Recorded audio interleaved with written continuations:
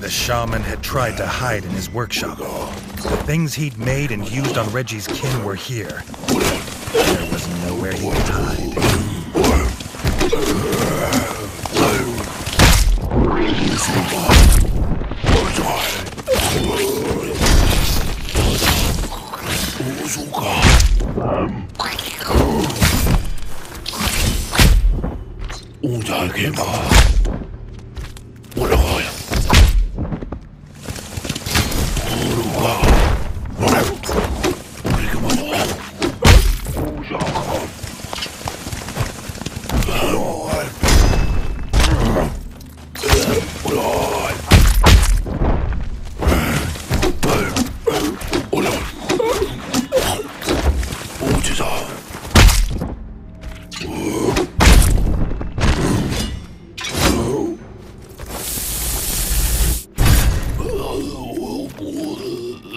Shaman's cruel experiments were over in a puff of foul green smoke.